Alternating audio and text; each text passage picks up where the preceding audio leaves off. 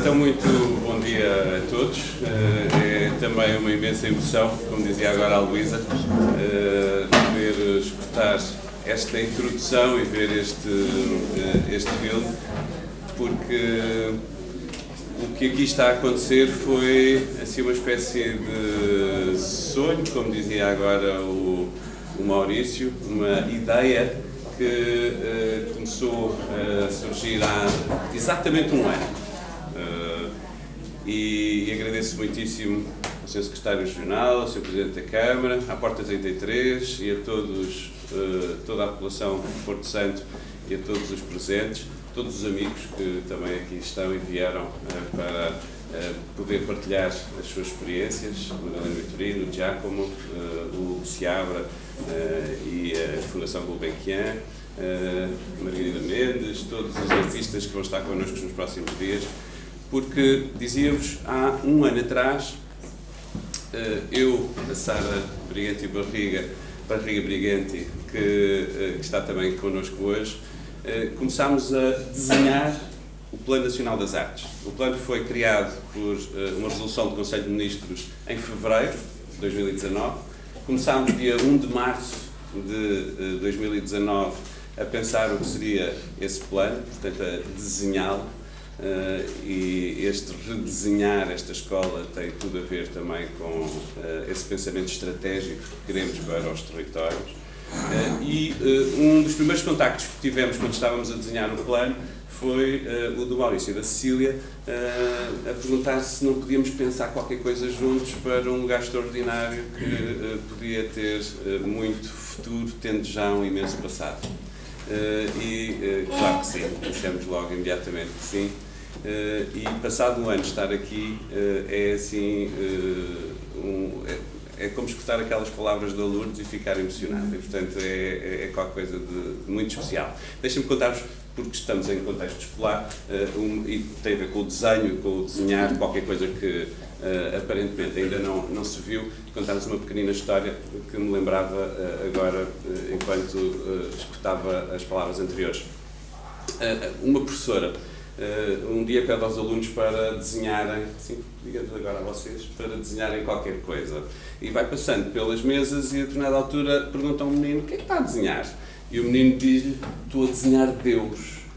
E a professora fica assim muito chocada ao mesmo tempo e diz: Oh menino, mas Deus ninguém o viu, como é que vai desenhar Deus? E o menino diz: Daqui a cinco minutos já vão ver. ninguém o viu, vão ver. Portanto, esta ideia de que o desenho é desenho também de desejo, de projeto, de qualquer coisa que ainda não vimos e que vamos ver, que não existia, que pode existir, é, é, é algo que nos interessa. Este plano não existia há um ano e agora já, já existe. Vocês são o plano. Uh, e isto tem tudo a ver com uh, o título uh, desta pequenina apresentação que vou fazer hoje. Não vai ser da apresentação do plano, terá, já houve a oportunidade de fazermos aqui. terei também todo o gosto de fazer agora no dia 11 no Funchal e, portanto, o plano está a ser apresentado noutros âmbitos. Hoje é para pensarmos o que é que é este redesenhar esta, esta escola, a partir de um dos princípios do Plano Nacional das Artes, eh, que é a democracia cultural. Pensar o que é, que é isso da democracia cultural. A nossa Constituição tem algo de absolutamente extraordinário, é uma subtileza em relação a outras. Uh, porque a nossa Constituição garante-nos o direito à educação e garante-nos o direito à cultura. E à cultura, quando pensamos normalmente o direito à cultura, pensamos só no direito de fruir cultura.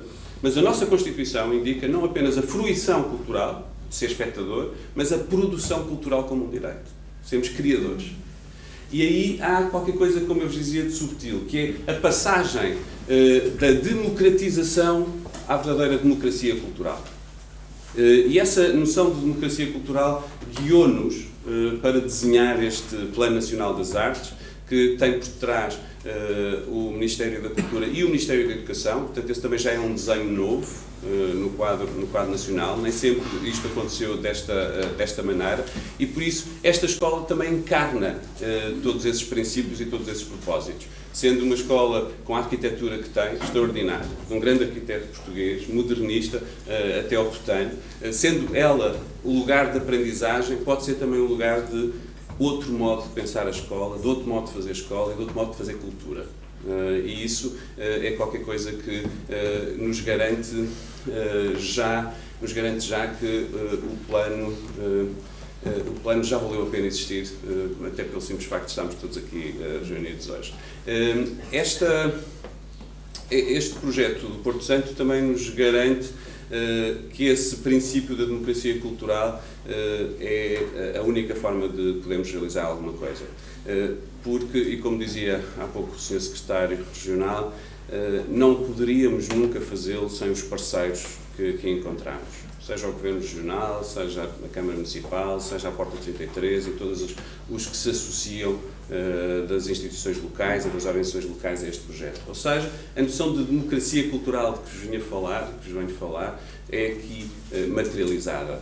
Nunca uh, um plano desta natureza pode acontecer sem, no, lugar ter, no local, ter os agentes necessários para o pôr a acontecer.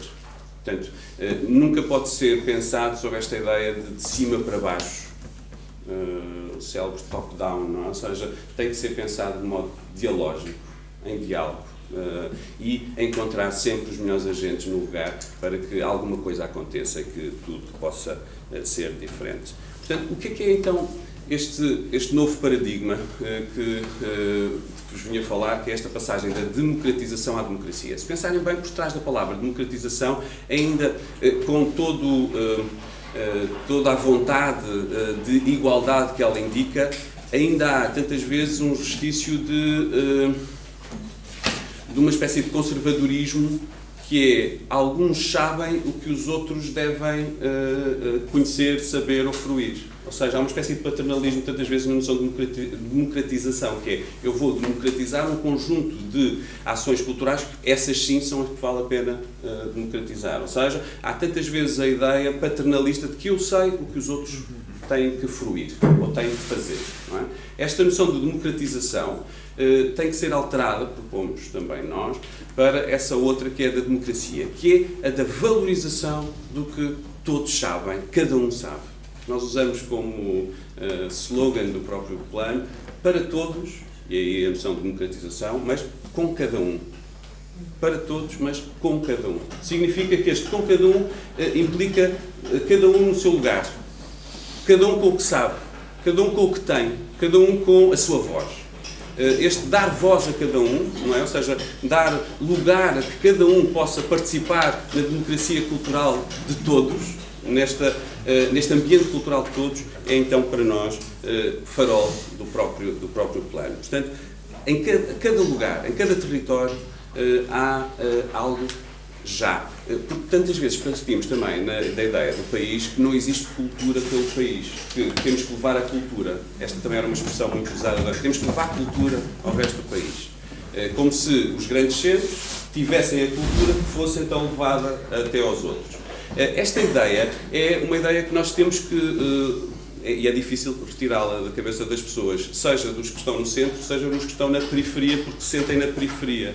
Uh, mudar esta ligação entre centro e periferia é determinante e quisemos também este projeto para pensar como as periferias podem ser novos centros. Como a partir daqui podem irradiar para o país um conjunto de propostas que não existiriam se não partissem daqui. Portanto, este eh, lugar, tantas vezes pensado como periférico, transformar-se ele num centro de irradiação de propostas culturais, de irradiação de pensamento uh, e de reflexão, uh, de uh, acontecimento. Esta, esta foi, foi como vos dizia, assim, a ânsia maior de criarmos aqui um lugar de, de sede de pensamento também de plano, de residências artísticas para que o que aqui se experimentar neste laboratório, que é esta grande ilha de Porto Santo, eh, neste, neste laboratório, o que aqui se experimentar se poder levar para outros lados, uh, o que aqui se pensar, poder chegar a outros e poder também, uh, a partir do pensamento aqui realizado, mudar até políticas culturais e formas de fazer que uh, ainda estão tantas vezes marcadas, como vos dizia há pouco, por essa ideia paternalista de levar cultura em vez de compreender e valorizar a cultura que já existe em cada lugar, em cada território. E nós partimos daí, partimos dessa valorização de que em cada uh, lugar do nosso país há já cultura. Não partimos do pressuposto que é preciso levar a cultura. O que tantas vezes temos que fazer é uma espécie de mudança de olhar, e essa é difícil. É uma, mudar a visão é muito complicado, como sabem. Tirar, é uma aprendizagem do desaprender, como diz Fernando Pessoa. Temos que desaprender como aprendemos, que é achar que cultura é só aquilo que vem de fora ou aquilo que outros têm. Portanto, voltar a, a, a repensar o que está à nossa volta, ou pensá-lo pela primeira vez, é para nós determinante.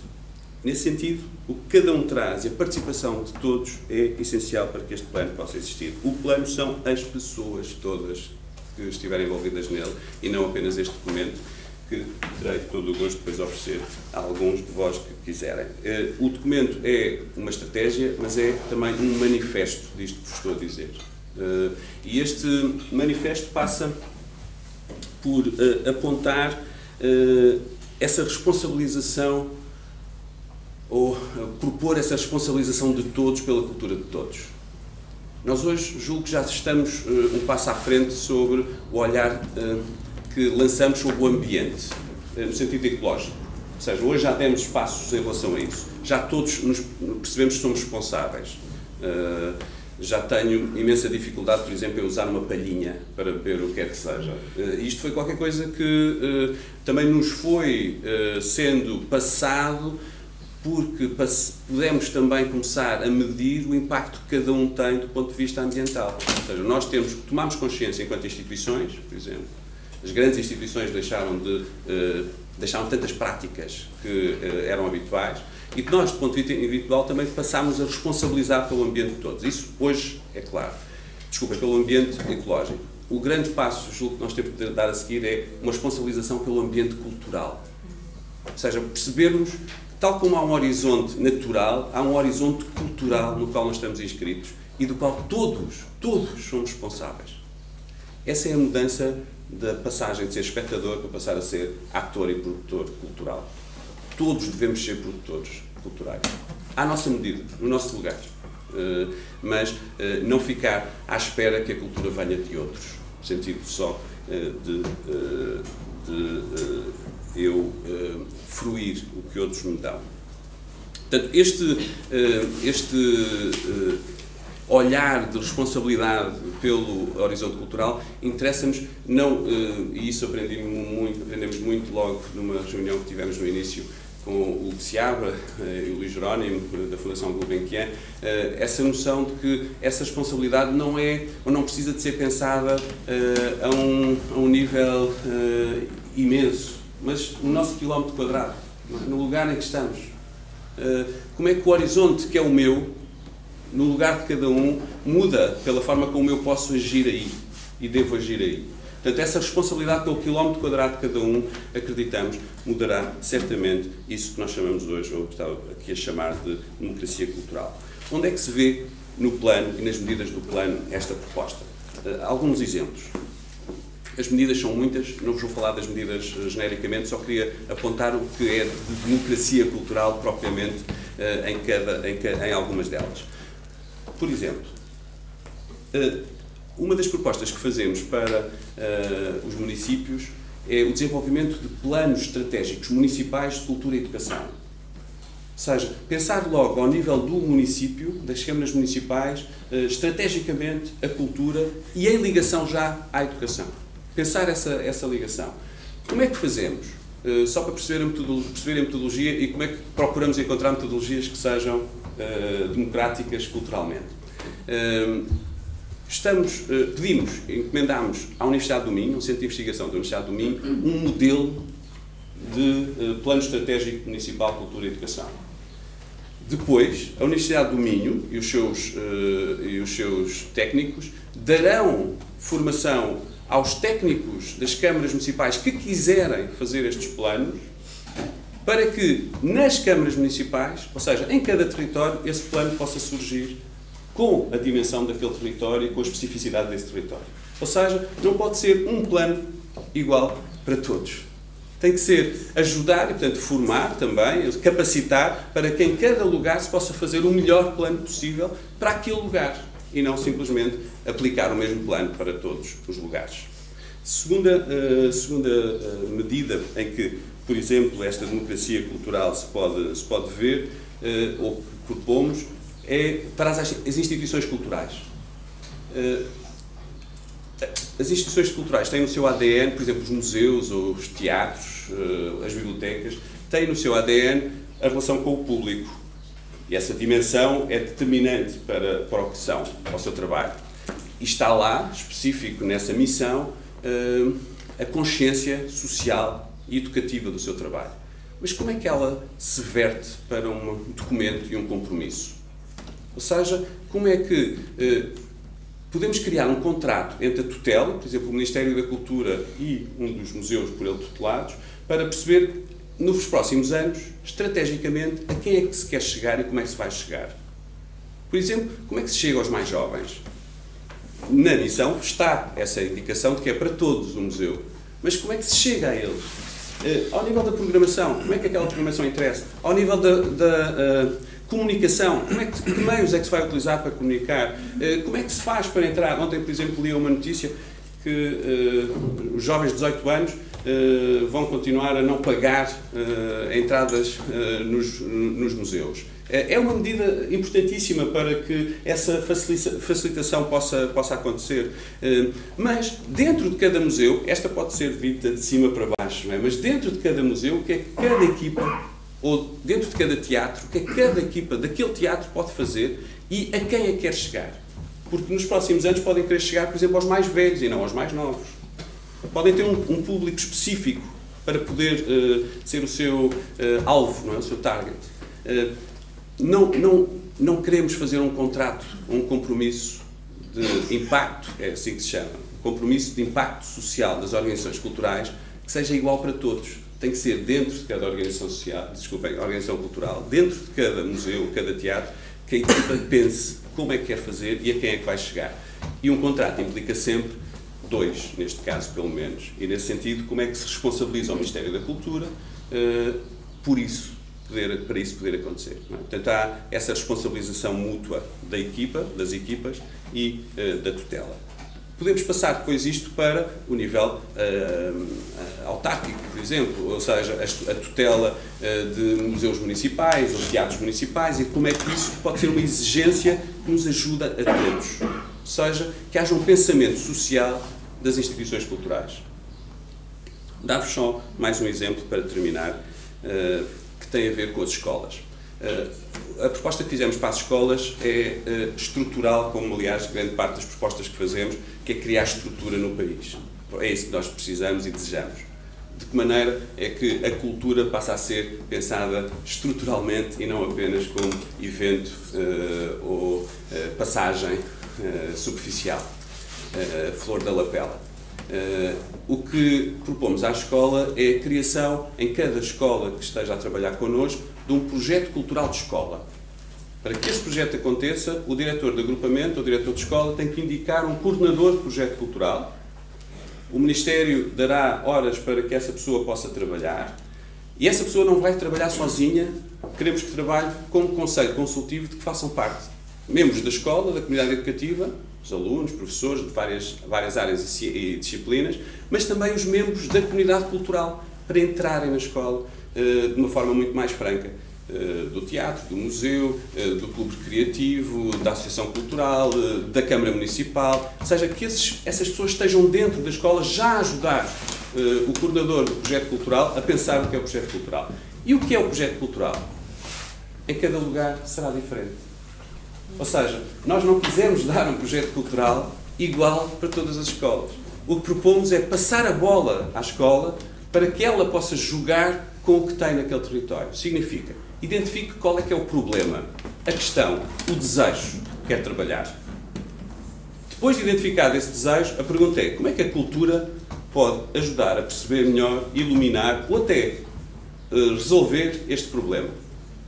E dar-vos só dois ou três exemplos do que é que está a acontecer pelo país que há um ano nós não imaginávamos quando desenhámos este, eh, este plano. Por exemplo, uma escola em Faro está a desenvolver um projeto cultural sobre o desperdício alimentar. Porquê? Porque no seu refeitório tem esse problema de desperdício alimentar. E tendo o problema do desperdício alimentar, a pergunta agora é como é que a cultura nos pode ajudar a olhar para o quê? A alimentação, o alimento, o desperdício, questões ecológicas e por aí fora. E há imensos artistas a trabalhar à volta deste, destas questões.